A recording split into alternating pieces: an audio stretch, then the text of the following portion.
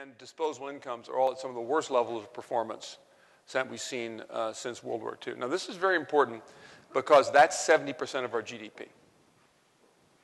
Right? And so 70% of our GDP is at a very, very low level of performance, and that's stuck in the households. I'm going to tell you a little bit why, what that is, while about 20% of our GDP, which is in businesses, is actually thriving, but that's not enough to pull us forward.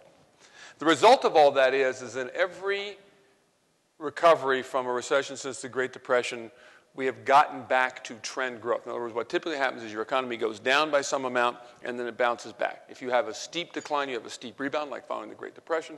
If you have a shallow decline, you have a shallow rebound, like following the uh, dot com crash in 2001. What we've experienced here is a steep decline and a shallow recovery. And the result of that is that we've lost about a trillion dollars of potential output.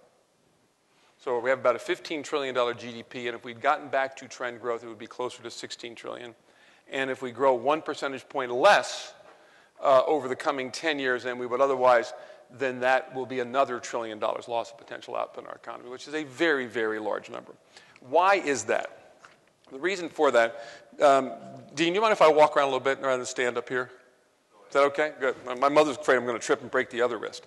Um, but uh, the reason for that is that we experienced something at the peak of economic, in peak of economic output, which was Q3 2007, uh, our economy had borrowed across all sectors of society an amount of debt equal to 350% of GDP. Over the course of American history, we've had kept debts at about 100 to 100%, 100 to 20% of GDP. Starting in 1980 and going from 1980 to 2007, we increased the debt in our society by three and a half fold as compared to our economic output. We went from 100% of GDP to 350% of GDP. The, the, there's only one other time in American history when we've had numbers that high. That was during the period, the, the depth of the Great Depression, and that was not because we added more debt during that time period, but, but because the economy collapsed, and so the debt as a percent of GDP went way up. But that was a measure of economic distress. This, by the way, is my classmate from Harvard Business School. Am I doing okay, George? You're surprised. Oh, okay, good. Thanks, pal. Um, Section F, right? Section F. You got it. All right. The, um, the, um, but where was I? No. The, um, the 350 we uh, accumulated between 1980 and 2007 occurred at the peak of our economic performance. That's a very, very different thing than having debt that mounts as a result of financial distress. And that resulted from every sector of our society borrowing money to consume and taking economic performance from the future into today, now the past. And now we got to pay it back. People ask me, you know, isn't the economy, doesn't the economy sort of have the flu? You know, doesn't it, didn't we sort of, you know, we have a, couple of years of maybe 15, 18 months of, of, recession, then we go right back to kind of where we were before. I said, no. Way to think about this economic recovery is that we have um, diabetes, right? We're 350 pounds overweight. We have a chronic and we're going to have to spend years of careful management of our Uh, all aspects of our economy in order to get to have a chance to be successful again. And if you look at it, by the way, a lot of people want to demonize, vilify, whatever word you use, the business community or the financial services community. It turns out that's where the least amount of debt is. By far, the biggest amount of debt is at the household level. We're at the end of 20 to 30 years of Americans borrowing. Americans took about 50% of the value of our homes. We went from an equity content of the average American home at 80% down to about 30%. And we bought fat panel TVs for the dens, filled our closets full of clothes we didn't need, new appliances in the, in the kitchen, new, new cars in the driveways, and we just consumed our seed corn. We are today with a massive amount of debt. The second place the debt built up was at the government level. It's continuing to build up, which I'll talk a little bit about later on. But during the period of the, during this period, Republicans and Democrats alike that was uh, agreed that was a really good thing for people to own homes. Uh, and Americans went out and borrowed money at levels never seen before to purchase homes they couldn't afford. And, that, and by the way, the two government agencies that abetted that, Fannie Mae and Freddie Mac, will be the places the U.S. government loses money from it during the period as a result of the crash of 2008. All other money that came from the TARP will be paid back at a profit. All the money the Federal Reserve Bank invested uh, will be paid back at a profit. We'll lose somewhere between 175 and 200 billion dollars on the investments in mortgages that Fannie Mae and Freddie Mac created. So the government and the households are the two places where, where it was the epicenter of this if you look at the data. Now, it turns out that this is, it turns out that um, just like, uh, you know, raising, I say raising who think they've discovered things their parents didn't know anything about. Uh, but it turns out we were teenagers one time too, and we kind of have a good view of what that was all about. It turns out that this is a, um, a, a uh, episode, an experience that's repeated over and over again for 700 years. There's an economist friend of mine who's done who's researched this.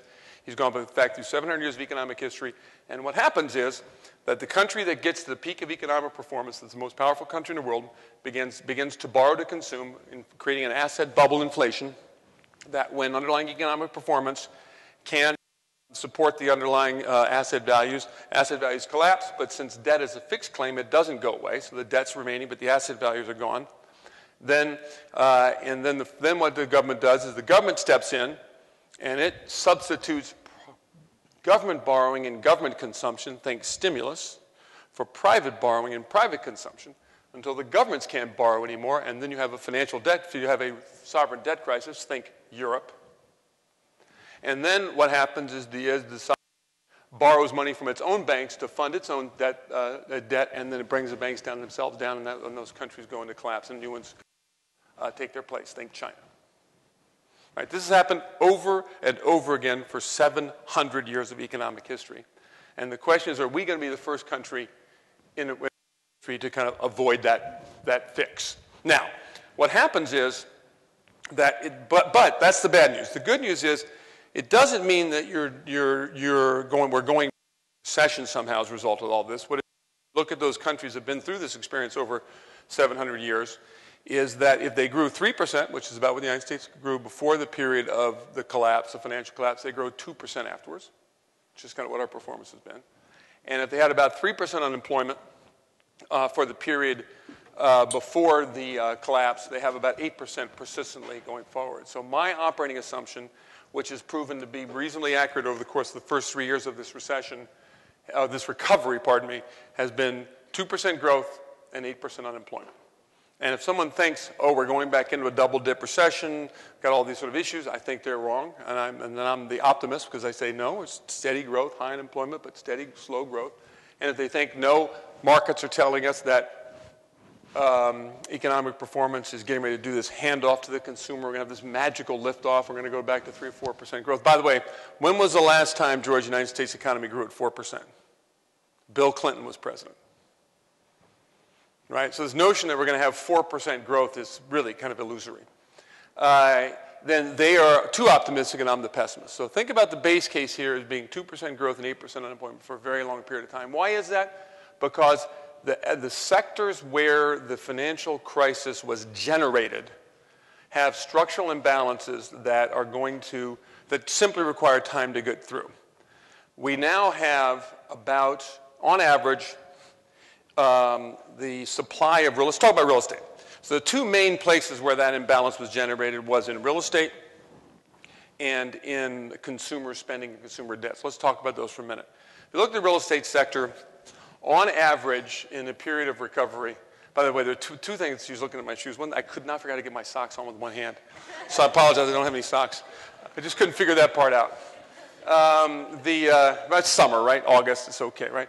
Um, the, uh, the um, where was I, Kevin? Oh, yeah. The, the, um, so, usually in a period of recovery from a recession, real estate spending increases by 26% in that year.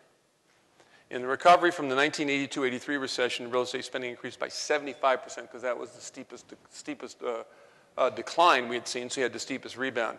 In this recovery so far, for the first two years, real estate spending has gone down and this year it's up only 4% so far.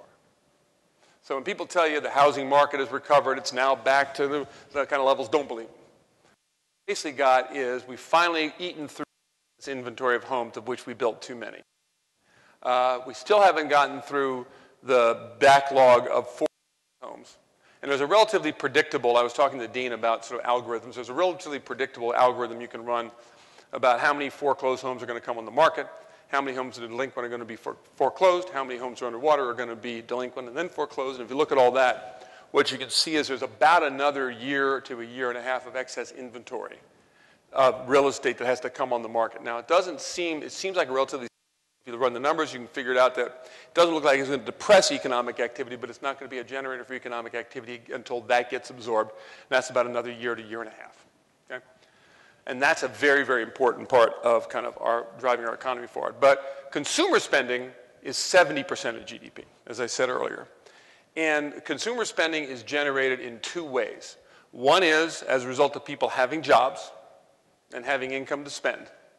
And the second is as a result of people having income, having net worth, having money in the bank, value of their homes, value of their stocks and bonds. By the way, um, we are now at a period because the housing market has, has been so stagnant and the equity markets have risen. We're now at the first time in American history where more Americans' value is in the value of their stocks than in the value of their homes. For the first time in American history because of a long period of stagnation of housing prices while, while corporate profits have been good and equities have gone up. It's kind of interesting. But anyway, take a step back. The, how, the employment markets have some very, very serious structural flaws to them today, which mean that it's going to be a very meaningful time before we can get anywhere back to the kind of full employment. So the simple math uh, is that at 2% economic growth, you create just enough new jobs, about 150,000 per month, to bring to get to allow people like you when you graduate to be absorbed in the workforce, but not enough to reduce unemployment. All right, so at 2% growth, you make no change. It's almost impossible to make any change in unemployment. It, at 2.5% growth to get back to 25% unemployment, so 5% unemployment would take us about 25 years. At 3% growth, it would take us about 15 years. Right? And so the unemployment levels uh, are going to remain very high. And some of that is because we've had structural problems. We have a significant decline that's occurred in what's called the employment to population ratio, so people are dropping out of the labor force. If we had the same amount of people in the labor force today as we had in 2008, unemployment would not be 8.2%, but it'd be about 11.5%. But so people have just given up and are dropping out of the labor force. That's not a healthy way to get your unemployment levels down, obviously. The long term unemployment, which is people unemployed more than 26 weeks, is at levels never seen before. Uh, and after you've been unemployed for more than 26 weeks, you lose connection to the labor force, you lose skills. If you're a salesman, you lose relationships. And by the way, if you're unemployed more than a year, your children in their lives persistently have less good education, health care, and income outcomes. You think about it, because they, they get brought up in very different kind of circumstances as a result of your long term persistent unemployment. So long-term unemployment, people unemployed for a long period, is at, is at its peak in American history because there are a lot of people who are in construction, men who are in construction and manufacturing, and those, and in particular in the manufacturing area, there's jobs, those jobs aren't coming back. They don't have college educations, they don't have technical skills, they're not going to get employed. It's a very important thing. If you look at today, our, the other thing that's happened is our education system has failed us. If you look today at the applicants per job opening, if you want a job in farming or forestry, there are 50 people lined up for every job opening. If you want a job in um, building maintenance, there are 20 people lined up for every job. If you want a job in computer sciences, there are 0.4 applicants per job, and even less for biotech. At the very depth of the recession, there are 157,000 job openings in computer science that couldn't be filled because we hadn't trained them. Right? Now, one of the things I think is very good about where you students are, you're being trained to do is we need you. You're going to be employed about this. The, the things that you do are the important, growing, entrepreneurial parts of our economy. So this is not a message for you. But as you think about the communities you live in or the communities you go out to when you, when you graduate from school, we need to refocus on my community in Rye, New York, which has these great schools. One of my friends called me up and said, We're raising a million and a half dollars for the um, high school, public high school. I said, Great, I'm in. What are you going to do? After school programs, math and science teachers, laboratories? No, we're going to put turf on the foot and lights on the football field. I said, No. Not only am I not going to do that, I'm going to criticize everybody I talk to. Because that you have your values in the wrong place. You think the people in China are thinking about turf and lights the football field? No, they're sending their kids to school to study math and science to get ahead. Just like you guys are doing here. But take a step back. Um, huge underlying structural problems in our economy, lack of skills, uh, particularly expressed in people who are middle-aged men who used to work uh, without training, who used to work in um, brute jobs. And those are, by the way, being replaced by jobs that are lower wage, higher education, and more female-oriented jobs, nursing and education and social lot, also, the nature of work in the United States is fundamentally changing. And by the way, I think we'll see that the nature of the households will fundamentally change.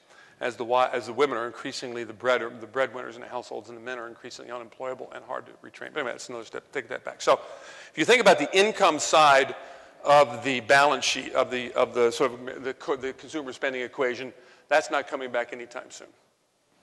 Right? And so there was this period a couple of uh, in which um, consumer spending went up substantially and consumer incomes had continued to stagnate.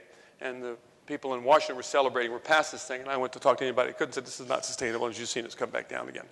So, in, people who, who live on their incomes to consume, to consume have continue to have very high uh, degrees of uh, insecurity in the households and very, very and muted consumption patterns. In fact, as I alluded to earlier, they're actually paying down debt and reducing their consumption.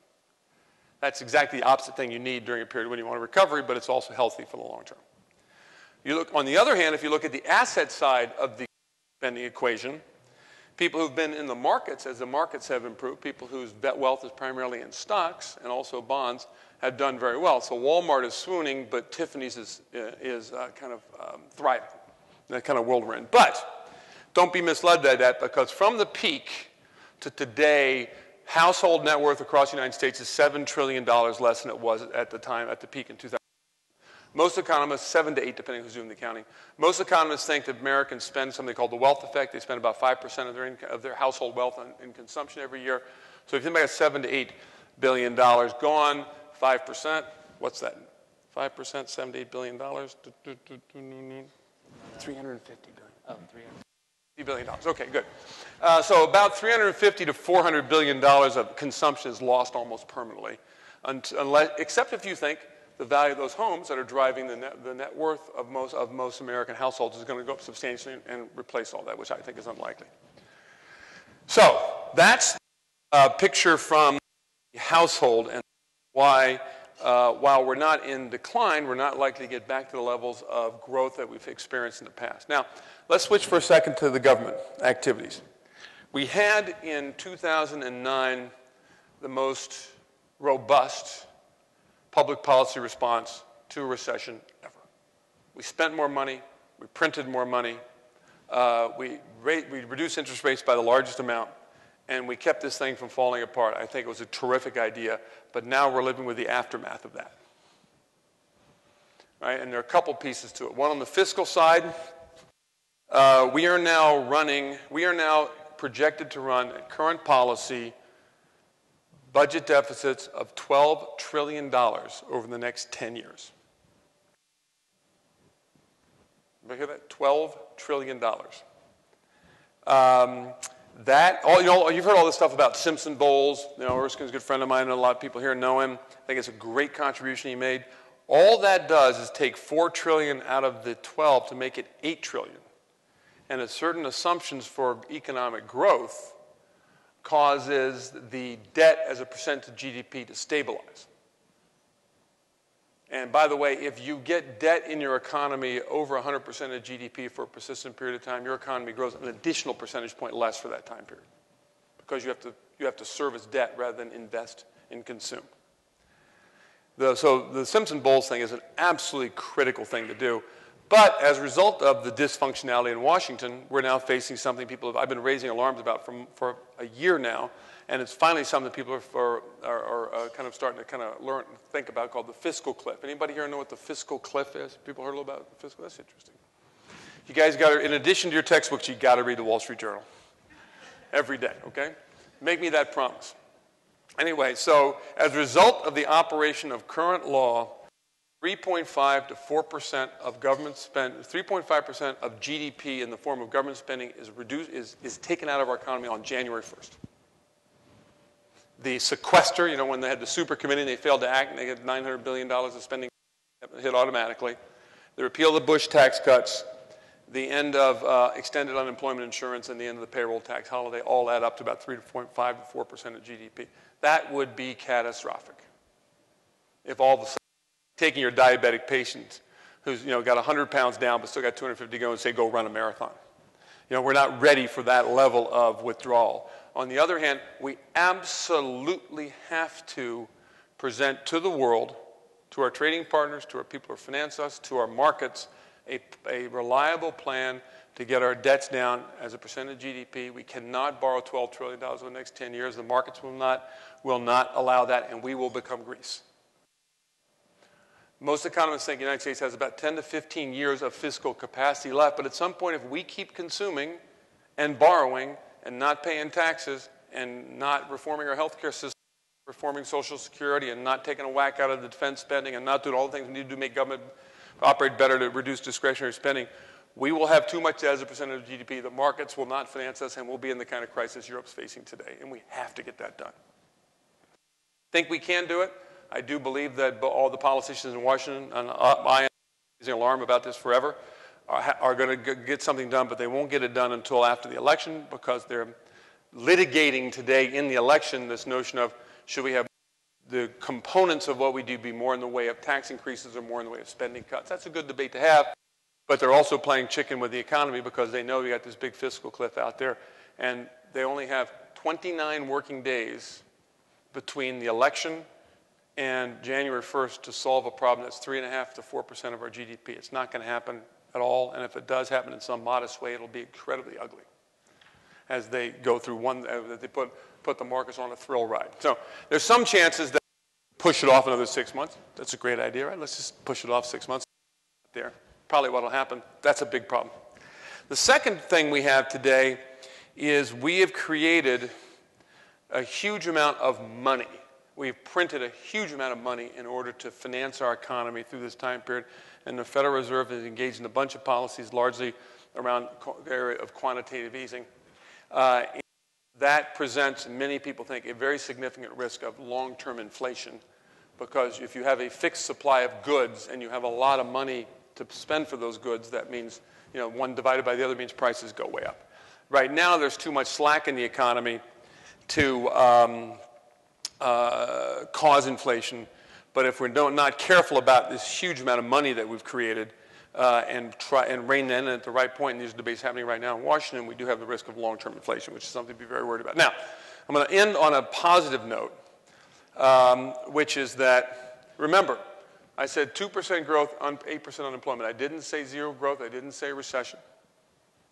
Right? And that's actually not a bad place to be. The Europeans would love that deal by the way, today. They'd love to have that deal in front of them.